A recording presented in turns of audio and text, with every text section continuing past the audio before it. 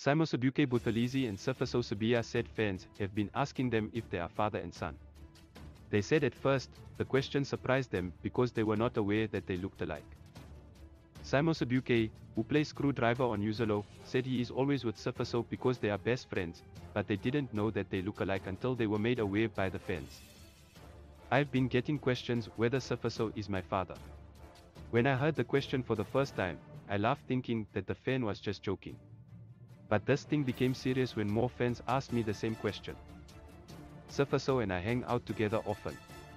We are friends but we are not related, said Simosibucayi.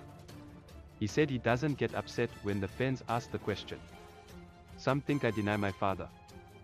But I don't, we might look alike but I am not his son. We are humans after all and we are God's creations so we must not be surprised if we look alike, said Simosibucayi. Sifiso, who plays Babu Kamid on Durban Gen, said one fan even told him to do a DNA test. I like it when people say we look like or we are related.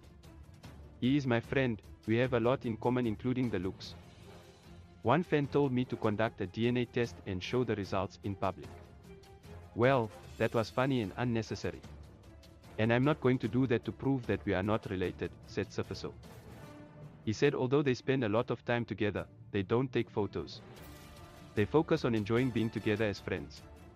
Please like, comment, share and follow this channel for more information or updates on news and entertainment.